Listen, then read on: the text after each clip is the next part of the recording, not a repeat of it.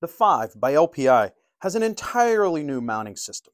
We're going to use our new base plate with a hexagon to have it hold the laser head in place. We're going to be taking two of our edges and inserting them into the front of the mount. When we do that, we're going to be able to push down and lock it into place. The first thing we need to do is we need to unlock the back of the laser. There is a button over here on the side, and if I push that button and open up the lock, it's going to open and allow this little pin to pop up. That pin is going to allow us to set the laser head in, just as I said, with the two sides into the front first. And when I push down on the rear, it's going to automatically lock.